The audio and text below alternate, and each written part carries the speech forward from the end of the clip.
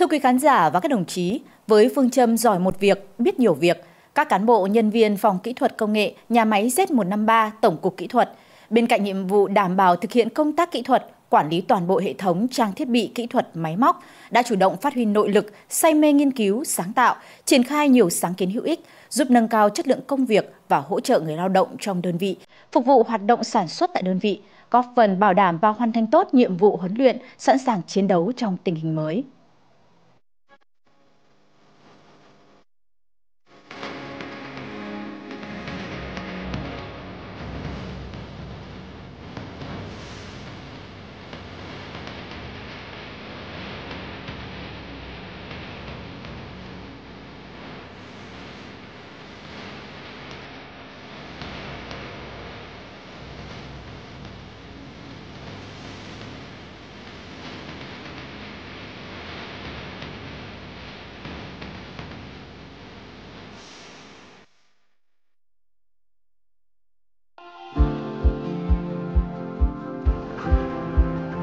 Đây là hệ thống dây chuyền mạ thuộc phân xưởng cơ khí chế tạo nhà máy Z153 Tổng cục Kỹ thuật.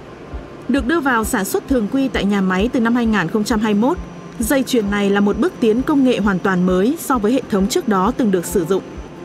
Quá trình vận hành, mỗi lồng sản phẩm sẽ được di chuyển qua từng bể hóa chất theo thứ tự để có thể cho ra sản phẩm đạt yêu cầu cao nhất. Mỗi bể tại đây sẽ chứa các loại dung dịch và hóa chất khác nhau, đi kèm với hệ thống hút và xử lý khí thải riêng biệt bởi trong quá trình mạ, hơi từ các bể hóa chất bốc lên nếu không được hút ngay sẽ gây ảnh hưởng đến môi trường sản xuất cho cán bộ công nhân viên phân xưởng. Kể từ khi đưa vào triển khai hệ thống hiện đại này cùng các máy hút khí thải đồng bộ ra khu vực xử lý bên ngoài đã giúp nâng cao năng suất chất lượng sản phẩm và thân thiện với môi trường, cảnh quan của đơn vị. Trước khi được trang bị hệ thống ờ, mạ đầu tư mới này thì chủ yếu cái thiết bị này là của Liên Xô cung cấp từ rất lâu rồi. Nó cũng đã xuống cấp và trong quá trình sử dụng cũng xuống cấp nhiều hệ thống hút khí cũng gặp nhiều vấn đề về chất lượng bề mặt đôi khi nó không được tốt còn à, sau khi được trang bị hệ thống này từ năm 2021 đến đưa, này sử dụng đến nay thì chất lượng bề mặt đã được nâng cao rất nhiều và sức khỏe đời sống anh em cũng được nâng cao bởi vì hệ thống này gồm cả hệ thống hút độc khí và hệ thống xử lý nước. Ban giám đốc nhà máy phòng kỹ thuật cùng với tổng cục là à, chắc là đầu tư à, để làm mới cái nhà mạ này. Trên cơ sở là nhà máy là là nhà máy sửa chữa xe tăng nên là phòng kỹ thuật chúng tôi hoàn toàn dựa trên ờ, thiết kế để phục vụ cho các công việc là ờ, để phục hồi cho ờ, sửa chữa. Và chúng tôi thường xuyên hàng ngày vẫn xuống bám bám nắm với phân xưởng, với anh em để kịp thời hỗ trợ khi mà các xảy ra. Ví dụ để ra sản phẩm khi chém chất lượng thì chúng tôi cũng kịp thời bám nắm để bổ sung thêm hóa chất hay và xử lý các cái trường hợp ừ, khi mà có việc gì xảy ra. Phòng kỹ thuật công nghệ của nhà máy là đơn vị được giao nhiệm vụ triển khai lên phương án thiết kế, giám sát thi công và lắp đặt hệ thống này cho phân xưởng cơ khí chế tạo. Và Thượng tá quân nhân chuyên nghiệp Nguyễn Thị Kim Oanh chính là người được phân công quản lý trực tiếp. Công tác gần 30 năm trong quân đội cũng là chừng ấy thời gian chị bám nắm phân xưởng, gắn bó với đơn vị. Sau khi hệ thống đã đi vào hoạt động hiệu quả, thì chị vẫn thường xuyên cùng anh em trong phòng tổ chức kiểm tra thực tế quá trình vận hành dây chuyền để nhanh chóng nắm bắt những vấn đề phát sinh nếu có. Không thể phủ nhận, bên cạnh việc ứng dụng hiệu quả, mang lại lợi ích về sản xuất kinh tế, thì dây chuyền này còn giúp xử lý hiệu quả bài toán môi trường trong lao động sản xuất tại phân xưởng, với hệ thống xử lý nước thải cho các bể mạ được triển khai song song khi sản xuất. Khí thải, nước thải là theo từng từng bể trên ờ, phía trên bể là có khí thải và phía dưới bể là là xử lý nước thải là cho từng bể đi ra và ra và tập trung vào một nguồn bể và xử lý nước thải vào số chung của nhà máy. Là toàn bộ cái là là chúng tôi tôi làm là từ tối ưu để bảo vệ đảm bảo cho, cho đảm bảo môi trường và sức khỏe của công nhân. Trong quá trình mà vận hành hay là hoạt động mà có vướng mắc gì thì uh,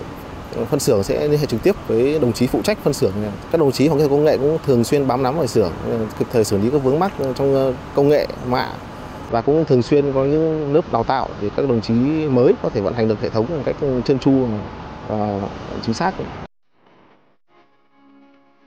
Nhà máy Z153 Tổng cục Kỹ thuật là đơn vị có nhiệm vụ chính sửa chữa vừa, sửa chữa lớn, cải tiến hiện đại hóa các loại xe tăng thiết giáp, cũng như sản xuất sửa chữa các loại vật tư kỹ thuật – các mặt hàng quốc phòng, hàng kinh tế theo yêu cầu đặt hàng của các cơ quan đơn vị trong và ngoài quân đội.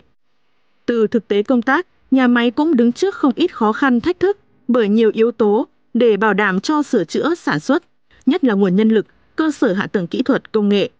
Trong khi đó, số xe máy về nhà máy sửa chữa hầu hết hư hỏng nặng, vật tư phụ tùng thay thế khan hiếm.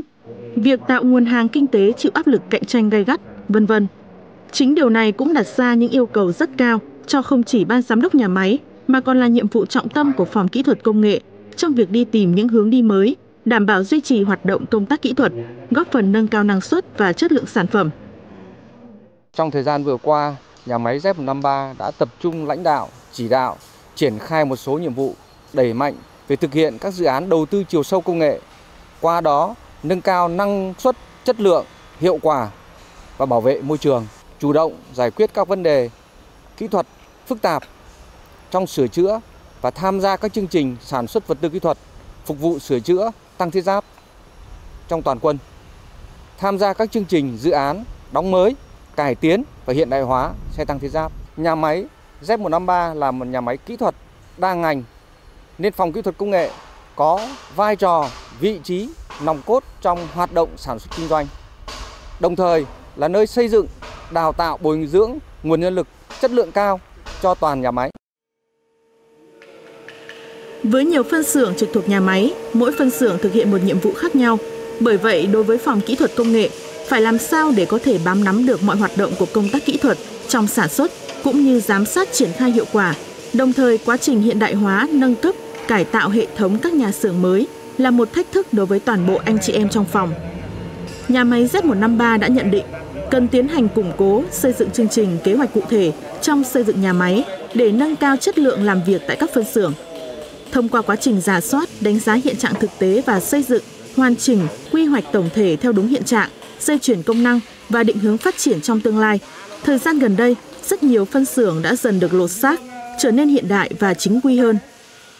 Trong quá trình thực hiện nhiệm vụ luôn có sự phối hợp, hiệp đồng chặt chẽ giữa các thành viên trong phòng cũng như các cái cơ quan, đơn vị trong nhà máy để kịp thời hỗ trợ và giải quyết nhanh các nhiệm vụ được giao và phát sinh có thể xảy ra. Có rất nhiều các đồng chí công nghệ viên phụ trách các lĩnh vực ngành nghề công nghệ khác nhau. Đối với mỗi đầu tư theo một uh, xu hướng công nghệ nào đó thì sẽ có những công nghệ viên trực tiếp phụ trách và một nhóm các đồng chí công nghệ viên khác nữa sẽ phụ trách phụ trợ việc bảo đảm an toàn thông tin mạng cũng là một phần quan trọng trong khi cái xây dựng nhà xưởng. Tại các nhà xưởng vừa cải tạo, mái tôn được sử dụng là loại tôn có lớp cách nhiệt, hệ thống mái chồng nhau, kết hợp cùng các cửa thông gió giúp đảm bảo tăng cường lưu thông không khí, hạn chế tác động có hại của khí hậu khắc nghiệt, nắng nóng của tự nhiên. Hệ thống cửa sổ được bố trí lớn phía trên, bên dưới và hai bên nhà xưởng, vừa để tận dụng luồng gió tự nhiên đi vào trong khu vực sản xuất, vừa giúp lấy ánh sáng tự nhiên phục vụ sản xuất. Hệ thống nhà xưởng mới được xây dựng kết hợp giữa hai yếu tố, xây dựng đồng bộ kết hợp với hệ thống cơ sở vật chất hiện đại. Có mặt tại khu vực cán luyện và lưu hóa gia công các sản phẩm cao su này, đây là một phân đoạn không thể thiếu trong nhiệm vụ sửa chữa đồng bộ xe tăng thiết giáp tại nhà máy. Cao su trong quá trình sản xuất thường sản sinh ra lượng khí độc và khói bụi lớn, nhất là khi làm việc với các máy công nghệ cũ trước đây. Nay, với việc áp dụng đồng thời cả buồng luyện kín cao su công nghệ mới cùng hệ thống xử lý khí thải đồng bộ công suất lớn trong nhà xưởng hiệu quả, đã đảm bảo tối đa quy trình sản xuất và bảo vệ sức khỏe cho người lao động. Dây chuyền ờ, cao su ờ, với công suất lớn, có một cái máy luyện kín ờ, để đảm bảo phòng độc cho công nhân và một cái máy luyện hở đi theo cái máy luyện kín đó thì công suất được tăng lên và, và chất lượng sản phẩm cao su sau khi cán luyện ra là cũng rất là đảm bảo rất tốt hơn so với các thiết bị cũ ngày xưa và rút ngắn cái thời gian gia công cao su thì rất là thuận lợi cho công việc sản xuất. Khi mà tiếp xúc với những cái thiết bị mới, máy mới thì đòi hỏi phải có sự hướng dẫn về công nghệ. Thì được sự quan tâm của phòng kỹ thuật của nhà máy thì các đồng chí ờ, phụ trách về về về chuyên môn của ngành hóa hóa và và cao su ờ, cụ thể đồng chí Nguyễn Thị Kim Oanh đã, đã rất là tận tâm ờ, chỉ bảo và hướng dẫn công nghệ cho tôi nắm bắt được cái cách vận hành của máy mới và cái công nghệ gia công trên cái thiết bị mới.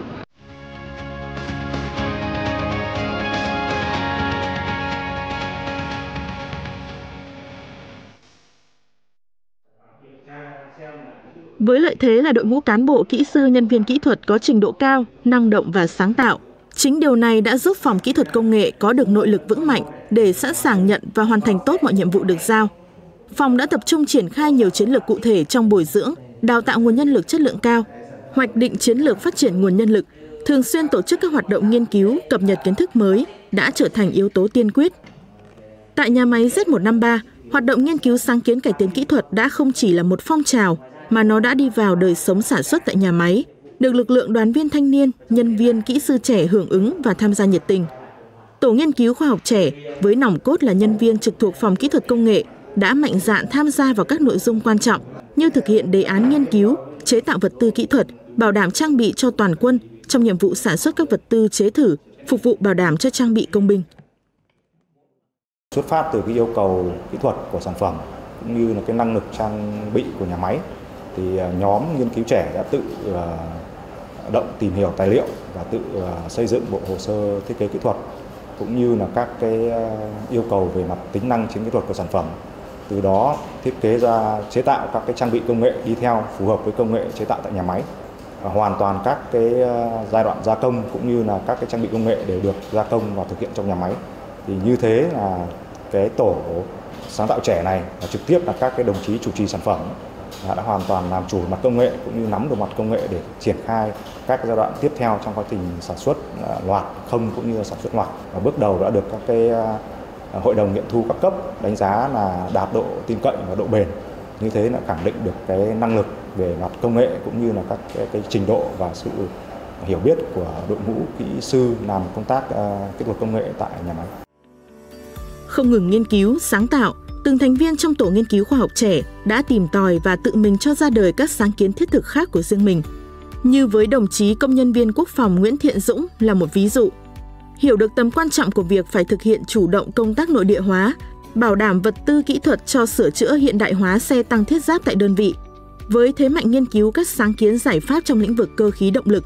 anh đã thực hiện nghiên cứu cải tiến thiết bị dệt cánh tản nhiệt, các loại kết mát dạng cánh phẳng, và nghiên cứu chế thử sản xuất loạt không, kết mát nước cho xe chiến đấu bộ binh, giúp nâng cao năng lực sửa chữa sản xuất tại nhà máy. Như các đồng chí đều biết thì ờ, nhà máy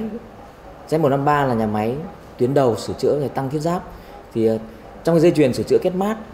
dây chuyền sửa chữa xe tăng thì có dây chuyền sửa chữa kết mát được Liên Xô tài trợ vào những năm ờ, 1990 thì trong dây chuyền đó thì có thiết bị dệt 9958 514 PE thì thiết bị này chỉ dệt được những loại kết mát dạng cánh phẳng và có chiều cao chỉ lên tới 500 mm. Về xuất phát từ cái thực tế là tất cả các loại xe tăng thiết giáp và vật tư thay thế thì ngày càng khó khăn. Thì đối với những kết mát mà có chiều cao trên 500 mm thì ờ, thiết bị này sẽ không thể dệt được. Đây là bài toán rất là khó khăn đối với ờ, nhà máy nói riêng cũng như là những ờ, người làm công nghệ sửa chữa. Thông qua việc nghiên cứu thay đổi hành trình chuyển động của thiết bị, thông qua việc cải tiến cụm thanh răng, bánh răng chuyển động hệ thống thủy lực, dẫn động cơ khí trong thiết bị theo các mô đun khác nhau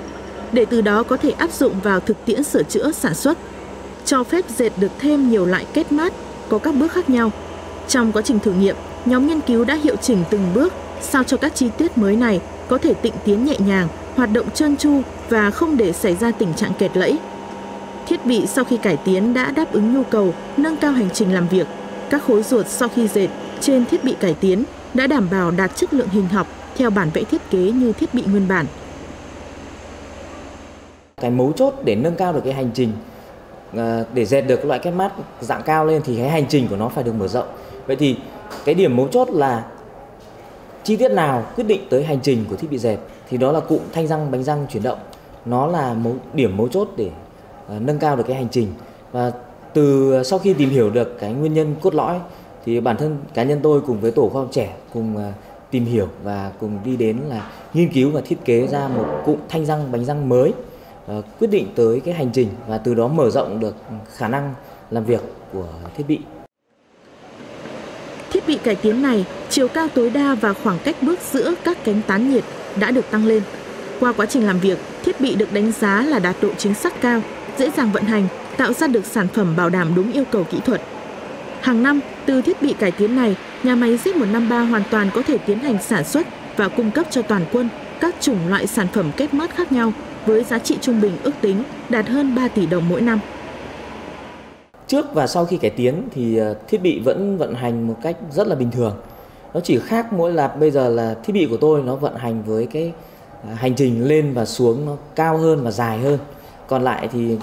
cá nhân của người công nhân vẫn thực hiện một cách trơn tru như quy trình công nghệ đã được đào tạo. Với sáng kiến của tôi thì ờ, hiện tại đảm bảo đáp ứng được tất cả, sản xuất được tất cả các loại két mát đang biên chế trên các cái trang thiết bị quân sự hiện nay trong toàn quân và trong tương lai thì tôi có một số cái dự định có thể là chúng ta sẽ tìm hiểu ra những cái trang thiết bị hoặc là những máy móc ở bên ngoài ví dụ như ở bên ngoài giàn khoan hay là tàu thủy hoặc là một số các cái máy móc có khối lượng à, có có ừ, kích thước lớn thì ờ, với cái thiết bị này cũng có thể là à, đáp ứng được cái nhu cầu trên thị trường hiện nay. Không dừng lại ở đó, đồng chí Dũng và nhóm đề tài đã mạnh dạn tiếp tục nghiên cứu phát triển các loại kết mát đồng dạng cánh phẳng khác nhau, đa dạng về chủng loại, mẫu mã, tương ứng với các dòng xe tăng thiết giáp. Kết mát là một bộ phận chính của hệ thống làm mát động cơ, hoạt động dựa trên nguyên lý trao đổi nhiệt với môi trường một cách tuần hoàn, cưỡng bức và tạo thành vòng kín. Các xe chiến đấu bộ binh khi đưa vào sửa chữa và thay thế thì cụm linh kiện vật tư như kết mát nước thường khó có thể khai thác được trên thị trường trong nước và quốc tế. Nhờ vào thiết bị đã được cải tiến, bài toán khó khăn về đảm bảo vật tư kỹ thuật quân sự phục vụ nhu cầu sửa chữa thường xuyên kết mát tại nhà máy đã được giải quyết. Với đặc thù là nhà máy sửa chữa tăng thiết giáp ờ, thì ờ, bên cạnh một số phân xưởng sửa chữa thì còn có một số là phân xưởng chuyên đảm bảo các phần vật tư sản xuất thì ờ, với cái đặc thù của nhà máy là được cung cấp những ờ, trang thiết bị rất là hiện đại ví dụ như là máy CNC 50 DMU 80P hay là một số máy phay CNC vạn năng hoặc là máy cắt dây, máy tiện CNC. Với cái tinh thần ham học hỏi của đội ngũ kỹ sư trẻ thì đấy là một bài toán rất là thuận lợi cộng với các cái trang thiết bị hiện có được đầu tư rất là bài bản. Trong cái quá trình ờ, làm việc thì chúng tôi đã gặp được rất là nhiều cái thuận lợi như vậy. Nhóm đề tài đưa ra giải pháp nghiên cứu thiết kế ngược sản phẩm nguyên bản trên xe bằng phần mềm chuyên dụng scan 3D. Qua đó cải tiến đồng bộ hóa một số vật tư khó khai thác trên thị trường thành những vật tư dễ tìm. Ứng dụng các công nghệ mới trong sản xuất như công nghệ gia công CNC, công nghệ dập tấm, công nghệ hàn tấm mỏng để có thể làm chủ và chế tạo được các dạng kết mát khác nhau, góp phần nâng cao hiệu suất làm mát, tốc độ làm mát nhanh hơn so với kết mát nguyên bản lên tới 41% mỗi năm dự kiến có thể tăng năng suất lao động và đóng góp thêm nguồn thu nhập mới cho nhà máy hơn 1 tỷ đồng mỗi năm. Hiện tại phòng kỹ thuật à, cũng như là trong nhà máy thì đội ngũ kỹ sư thì toàn là những kỹ sư trẻ, về mặt kinh nghiệm thì rất là ít kinh nghiệm. Ngoài ra thì các đồng chí đều được đào tạo với hệ bây giờ là ừ, đều sử dụng thành thạo tiếng Anh. Tuy nhiên thì các cái tài liệu của Liên Xô tài trợ thì trong thư viện thì lại toàn là tiếng Nga. Vì vậy cái việc mà tiếp cận đến cái tài liệu công nghệ của thư viện thì với các kỹ sư trẻ, đấy là một bài toán rất là khó. Vậy anh em phải vừa tự tìm hiểu về những cái công nghệ. Cái khó khăn thứ hai nữa là về công tác bảo đảm vật tư, một số vật tư đặc trùng thì hiện tại trên Việt Nam, trên thị trường Việt Nam thì không có. Thì ờ, chúng tôi phải bắt buộc phải tìm hiểu và nhập khẩu từ nước ngoài. Và đặc biệt là trong những thời gian ờ, cái sáng kiến của tôi thực hiện là vào năm 2020 đó thì vấn đề về Covid thì Covid thì cái việc mà nhập khẩu vật tư từ nước ngoài về là cực kỳ khó khăn. Như vừa trình bày ấy, thì là hiện tại là nhà máy không thể dệt được trên máy đó thì cái sản phẩm không gia công được. Như vậy là nhà máy là không bảo đảm để chế tạo vật tư kỹ thuật được. Thì với cái sáng kiến cải tiến kỹ thuật đó thì nhà máy hoàn toàn làm chủ là công nghệ về chế tạo các cái chủng loại kết mát à, lắp cho các cái chủng loại xe tăng thiết giáp và sửa chữa. Như thế là góp phần chủ động về mặt bảo đảm vật tư kỹ thuật trong quá trình sửa chữa.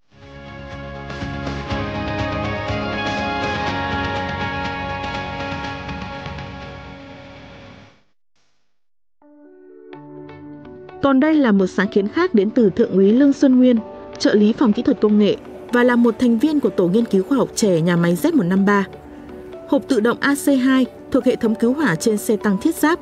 Trong quá trình bảo quản bảo dưỡng cũng như sửa chữa xe trước khi xuất xưởng, để kiểm tra được tính năng hoạt động của hộp tự động này và toàn bộ hệ thống, thì người kiểm tra yêu cầu cần phải nắm rõ nguyên lý hoạt động của hệ thống, nắm rõ được tất cả các mức tín hiệu tại các điểm kiểm tra sau từng giai đoạn hoạt động của hệ thống vì vậy, việc kiểm tra này lại mất rất nhiều thời gian và phụ thuộc nhiều vào yếu tố con người, ảnh hưởng đến tiến độ sản xuất và khả năng hoàn thành nhiệm vụ. Từ đây, đồng chí Nguyên đã nghiên cứu ra một thiết bị kiểm tra nhanh, nhỏ gọn, thuận tiện hơn cho các công nhân tại phân xưởng sửa chữa. Thì để khắc phục cái vấn đề này thì tôi đã nghiên cứu, thiết kế và chế tạo nên một thiết bị kiểm tra nhanh hộp tự động AC2 này nhằm giúp đánh giá nhanh được tính năng kỹ thuật của toàn bộ hệ thống với các cái đèn led ở trên thân của cái thiết bị này, chúng ta hoàn toàn có thể kiểm tra một cách trực quan, nhanh chóng, tính năng hoạt động của hệ thống và thông qua các đèn led này thì chúng ta có thể dự đoán nhanh chuẩn đoán nhanh được cái lỗi nếu như phát hiện xảy ra ở đâu để giúp cho cái việc công tác giám định và cũng như là sửa chữa sau này thì sẽ nhanh chóng và đạt hiệu quả cao hơn. Vậy thì cái ờ, các cái số đèn led của đồng chí trên ờ, bảng ờ, kiểm tra này thì thể hiện được những cái gì ở trên thiết bị? Vâng, ở đây thì tôi cũng đã thiết kế rất là trực quan là chia 6 bóng đèn led về hai phần, nghĩa là ba bóng bên trái là biểu thị cho tín hiệu chữa cháy được khi có cháy ở khoang chiến đấu, ba bóng bên phải biểu thị cho việc kích hoạt ờ, chữa cháy khi có cháy ở khoang động lực. Từ tín hiệu đấy phải dự đoán nhanh được cái hư hỏng có thể xảy ra ở trong các cái cuộn dơ len nào thuộc cái hộp AC2 này thì giúp cho việc sửa chữa chúng ta sẽ nhanh chóng hơn. Chúng ta không cần phải đi ờ, tìm kiểm tra nó nữa. Chúng ta có thể đi thẳng vào vấn đề chúng ta sửa chữa ừ, linh kiện nó luôn. Bộ công cụ kiểm tra dựa trên nguyên lý sử dụng tín hiệu điện áp 24V đầu ra từ hộp AC2 chuyển đến hạt nổ ở bình khí thông qua ổ cắm. Được tính toán hạ áp qua điện trở thuần để lấy được điện áp 5V đến bóng đèn LED tương ứng để làm sáng bóng đèn. Khi tiến hành kiểm tra, người sử dụng chỉ cần đặt chỉ số bình khí về 3, sau đó lần lượt ấn nút chữa cháy ở khoang chiến đấu hay khoang động lực. Khi đó đèn LED sẽ lần lượt sáng tương ứng với có tín hiệu ra hạt nổ. Bộ công cụ rất đơn giản, dễ chế tạo với chi phí thấp, dễ sử dụng, đảm bảo an toàn cho người và trang bị kỹ thuật, giúp rút ngắn thời gian kiểm tra hệ thống chữa cháy từ 2 giờ theo phương pháp kiểm tra cũ xuống còn 0,25 giờ, tăng năng suất lao động, đảm bảo tính chính xác và độ tin cậy cao. Vậy thì nếu cái sáng kiến này trong tương lai thì nó sẽ sử dụng được như thế nào trong các trường hợp ở thực địa? Về à, trước mắt thì với hiện tại cái sản phẩm này ấy, thì chúng ta có thể hoàn toàn kiểm tra được toàn bộ hệ thống cứu hỏa trên à, xe cũng như là tại tổ sửa chữa. Đấy, chúng ta kiểm tra nhanh được luôn. Thì tương lai thì tôi đang dự định là sẽ phát triển thêm tính năng để chúng ta có thể giả lập được các tín hiệu chữa cháy. Các tín hiệu có cháy ở trên xe mà không cần phải thông qua các cảm nhiệt và các cái hộp khác nữa. Thì chúng ta có thể kết nối trực tiếp vào cái hộp ACI này. Chúng ta kiểm tra toàn bộ được cả đầu vào và đầu ra luôn những thành công đến từ phong trào thi đua như phong trào phát huy sáng kiến cải tiến kỹ thuật, phong trào lao động giỏi lao động sáng tạo, thực hiện hiệu quả cuộc vận động 50 tại nhà máy Z153 đã cho thấy Bên cạnh sự đầu tư hiện đại từ kỹ thuật công nghệ, vẫn cần phải có được đội ngũ nhân lực nhanh nhạy, kịp thời bắt kịp với tiến bộ thế giới để làm chủ và áp dụng thành công các thành tựu vào thực tiễn. Đơn vị cũng đã tạo mọi cơ chế để các cán bộ nhân viên kỹ thuật trẻ có được nhiều cơ hội để tiếp thu công nghệ mới đã và đang tiếp tục được chuyển giao. Phát huy sức sáng tạo, dám dấn thân, đó là minh chứng cho một chính sách cán bộ tốt, chương trình ươm mầm khoa học hợp lý, khai thác hiệu quả tiềm lực con người cũng như trang bị kỹ thuật tại nhà máy Z153. Nhà máy tổ chức phong trào thi đua một cách khoa học, hiệu quả, thiết thực, gắn sát thi đua với nhiệm vụ sửa chữa, cải tiến xe tăng thiết giáp và đặc thù của một nhà máy sản xuất kinh doanh. Với đặc thù là một doanh nghiệp trong quân đội thì ngoài cái việc khen thưởng theo quy định chung của quân đội thì ờ, nhà máy chúng tôi có cái quy chế riêng để khích lệ phong trào thi đua. Đó là à, đối với kỹ sư công nhân viên có đề tài sáng kiến cải tiến kỹ thuật thì đều có khen thưởng. Rồi là hàng tháng lấy kết quả thi đua để làm hệ số ờ, để trả lương cho người lao động lấy kết quả thi đua của cả năm để làm hệ số để khen thưởng hoàn thành nhiệm vụ cuối năm cho người lao động. Yếu tố con người luôn có một à, vai trò quyết định đối với một nhà máy. Và đặc biệt là đối với nhà máy kỹ thuật đa ngành như nhà máy Z153 thì công tác đào tạo, bồi dưỡng con người à, đã được nhà máy quan tâm từ khi thành lập nhà máy cho đến nay. Phải nghiên cứu, quy hoạch lại tổ chức lại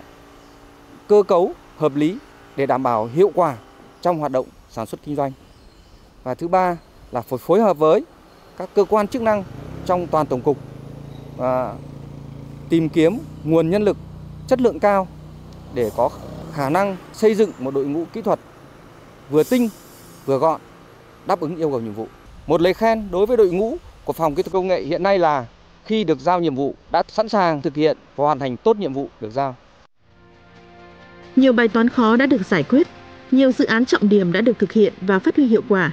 Tất cả là nhờ vào sự cố gắng của từng cá nhân và của cả một tập thể nhằm phục vụ mục tiêu giúp đơn vị hoàn thành tốt nhiệm vụ sửa chữa bảo dưỡng các loại xe, máy, trang thiết bị tăng thiết giáp, phục vụ cho các đơn vị trong toàn quân. Những kết quả đạt được sẽ góp phần tạo bước đột phá chuyển biến trong công tác kỹ thuật của nhà máy Z153, nắm bắt kịp thời nhu cầu của quân đội, của xã hội, bảo đảm tốt thực hiện nhiệm vụ huấn luyện sẵn sàng chiến đấu trong tình hình mới.